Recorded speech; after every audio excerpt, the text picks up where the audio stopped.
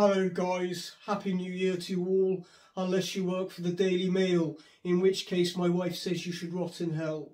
Bit of slightly disappointing news for you.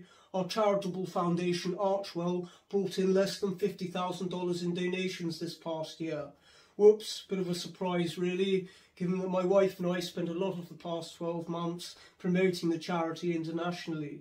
But there it is, unfortunately that's the reality Archewell received less than $50,000 in donations. That's definitely a genuine, honest figure, and our accountants have worked very hard to make sure the IRS aren't going to question it. I mean, my wife and I are so popular that we managed to secure multi-million dollar deals with Netflix, Spotify and HarperCollins.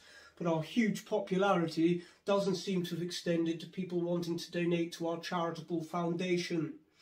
No one is more baffled than I am as to why so little money came into Archewell.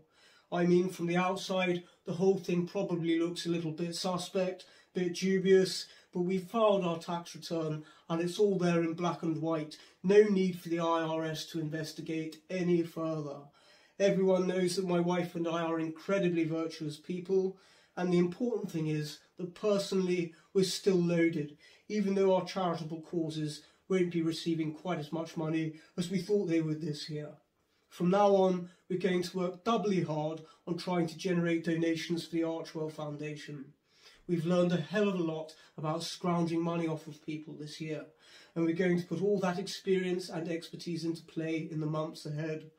Let me reiterate that my wife and I will continue to care very deeply about this planet and its people because humanitarianism is very much our brand and it's proven to be a very lucrative one.